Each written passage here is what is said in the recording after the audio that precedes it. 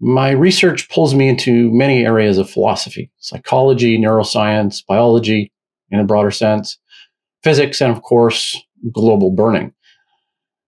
Death, love, life, aggression, emotions, neurons, genes, hormones are all on the fulcrum of language and pre language thought.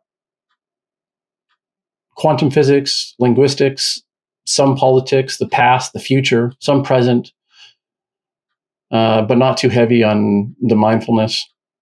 Everything else is pretty much off limits. Just kidding.